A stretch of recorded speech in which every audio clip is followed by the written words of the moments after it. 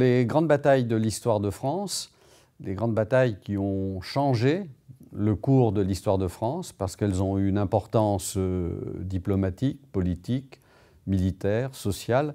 Et ces 20 batailles ont été choisies euh, depuis Alésia jusqu'à Bien Bien parce qu'elles sont représentatives euh, d'une certaine époque, représentatives des relations entre États à ce moment-là, représentatives du niveau de l'armée, de, ses équipements et de la, manière dont les affrontements se déroulent. La tactique n'est pas du tout la même euh, du début jusqu'à la fin de, cette histoire.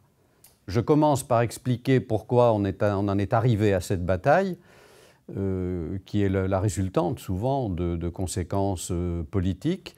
Ensuite, quelles sont les forces en présence? Comment s'est déroulée la bataille? Quelles ont été les conséquences diplomatiques, politiques, militaires, sociales? Et puis euh, un dernier point, un dernier chapitre sur euh, la récupération, entre guillemets, qui a pu être faite euh, de ces batailles, notamment au XIXe siècle. C'est un livre grand public qui est très facile à, lire, très facile à consulter grâce à ses illustrations. Et j'ai volontairement voulu faire que le texte soit accessible. Il n'y a peu de détails techniques et le texte est, facile à lire et surtout à comprendre. Et je pense qu'à la fin du livre, on a, compris beaucoup de choses.